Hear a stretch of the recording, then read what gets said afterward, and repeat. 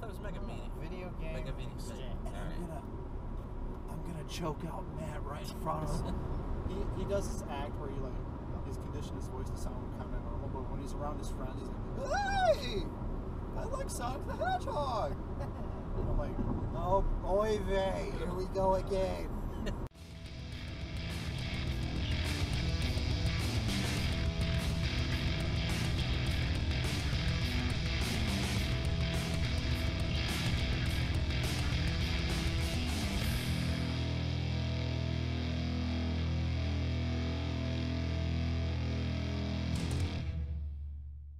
Hey guys, welcome back to another episode of the Dreamcast Hunt. Uh, big month this month, actually. Surprisingly, I got a lot of things I didn't expect to find, and a lot of goodies. So you're in for a little treat here, and, and some stories to go along with them. Uh, but uh, just to kind of jump into it, uh, Matt was nice enough to kind of look out for some things. Uh, this is one he was kind of surprised at that I didn't find. Uh, we haven't seen it here around Rockford or uh, even in Madison or any of the other places that we usually haunt around. So he ended up ordering this from a guy. Uh, he found uh, South Park South Park Rally, um, which is just one of the last racing games that I, I kind of need for the system. So that was kind of cool. Uh, along with that, Matt and I had a garage sale locally, and there was a guy who had a bunch of Dreamcast games. Uh, sadly, I had most of them already that he had, and uh, his prices were fairly fairly fair.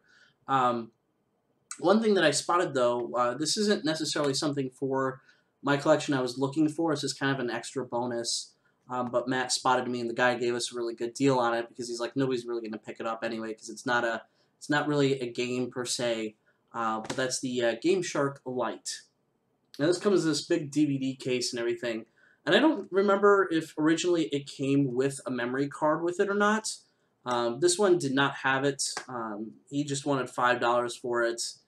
I mean, it has the instruction manual and everything inside of it, and I'm not sure if this actually allows to play imports.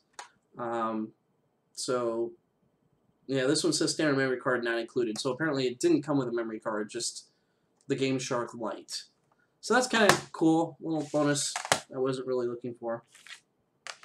Another difficult one that's been eluding me for a while. I find loose copies of this with the manual only, but not with the back art. Uh, so I keep passing on it and, and waiting and waiting. And either it's either you find the disc loose or it's not complete or whatever, or it's a really bad shape. Uh, I think I found one too was like really really faded on the art, and it had a it had a bunch of like rips and tears through the manual, and the disc was in really bad shape too. And the fact that I want to go through and play all these, that wasn't going to do very well. But uh, finally found it, and that's Omikron, the Nomad Soul by Eidos, or Eidos. Um, today, actually, this is one I've been waiting for for almost a week. Another really odd one that's fairly cheap to find, but it doesn't appear on eBay very often, which is really strange. I don't know if there's a lot of copies made or if it was if it's just one that most people end up tossing away. Uh, this is a platforming game where you play as a kangaroo, and that's Kao the Kangaroo. Uh, really strange looking game. Uh, it's just your, your, your, typical platformer action type thing, uh, kind of comedy like. Um, so it seems kind of cool. Probably have to jump into that one. Uh, I also did a trade with uh, PC Wizard 13, and you'll find his link below in the description here.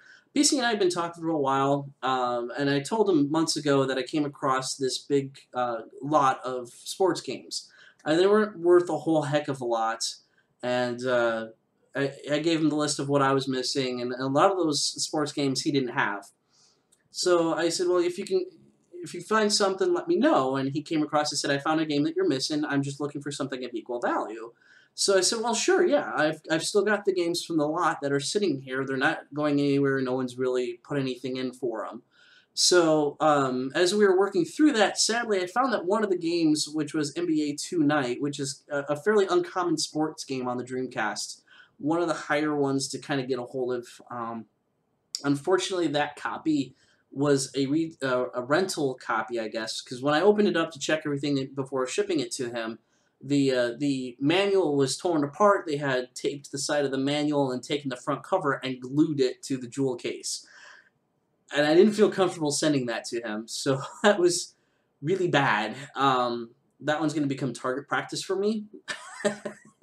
I'll probably take the disc somewhere. The disc was in great shape, and the back art was all on it, but the manual was just butchered, uh, which was really disappointing.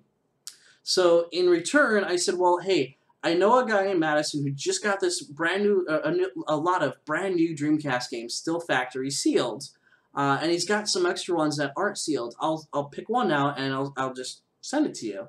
So he, he was cool with that, and I ended up finding another uncommon sports game, um, which you'll have to find that one out if you actually go watch his channel. Uh, I'm going to plug that one, uh, as I'm not going to give away which one it was, but it was actually worth more than the other games that I sent him all together. Uh, in fact, just that one game was probably equal to what he sent me. Uh, I know the, the price that I paid it was equal to what he sent me, and that was Dragon Riders. Um, another really odd one that I'm surprised I haven't really found around here that's not too expensive, but again, it's it's not one you really find often. So, now into the heavy hitters of the month. And these are doozies. Uh, these were ones that I was really not sure I would ever find until the very end, and we're getting down to the last, was it the last uh, four remaining for the whole set. Um, which, if you've been watching this, you pretty much know which ones I do and do not have. But the guy on Facebook had one of these, and it was at a really good price. Uh, it was uh, under a hundred bucks. and this is one that I was freaking out about because I, I have a hard time paying a, a, high price for these Dreamcast games. I just I don't see the point when I when I'm going to be any you know playing these. So I try to get the best deals possible. Well, this one I, I kind of leaned on it because I hadn't seen it that low of a price even on eBay or through anything else. And that is Cannon Spike, which is actually really fun uh, shoot 'em up. Um, takes kind of a, a, different plane. You have the ability to kind of move around the entire screen, and uh, you have secret characters such as Mega Man and uh, BB Hood uh, in the game too, which was kind of cool. So uh, Matt was a little surprised. Him and I sat and played it one night for, for an hour or two, and he was a little upset because he didn't realize Mega Man was in the game, and it's the classic Mega Man. It's not like the new iterations or Mega Man Legends. It's the classic Blue Bomber.